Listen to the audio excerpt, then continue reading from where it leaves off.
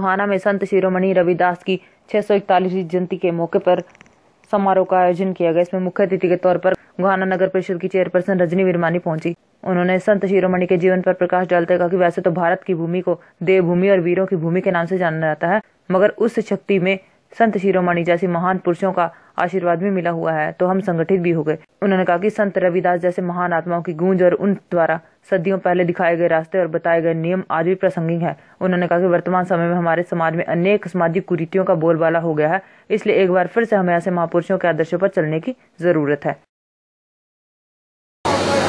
आज हम सभी उस महान संत श्री रविदास जी की जयंती पर ये समारोह पर पहुँचे हैं। मैं इन संस्था का, इन सभी बहन भाइयों का धन्यवाद करती हूँ, जिन्होंने इस महान संत को याद करके ये समारोह का आयोजन किया।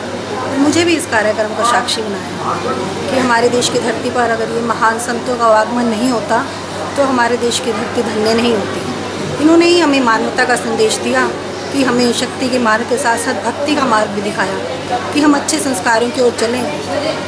देश प्रेम की भावना को बनाकर रखें, बुराइयों से दूर रहें और अच्छाइयों की ओर चलें।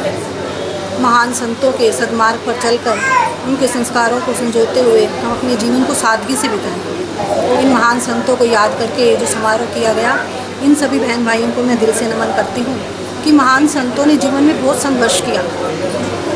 इन्होंने हमेशा ये सादगी और हमें अच्छे मार्ग की ओर ले जाने का काम किया और हमें सिखाया कि हम छोटे से दुख से ना घबराएँ।